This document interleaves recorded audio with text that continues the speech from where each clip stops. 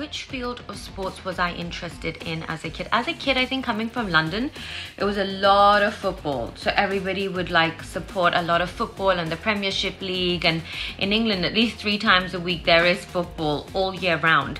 Uh, and then you have your Euro football, like, you know, from Madrid and Italy and Spain. And I just said the same thing. But I think as a kid, definitely football. But the one thing that brought us all together living in London was cricket.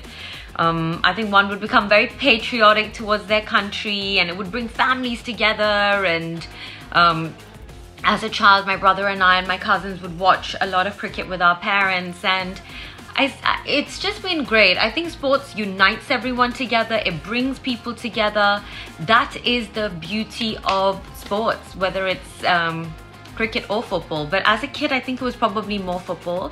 Moving to Bombay, I realized Bollywood and cricket was in everyone's blood. So you, if you can't beat them, you've got to join them. So I definitely started to pay more attention to cricket, which I now think is my true love.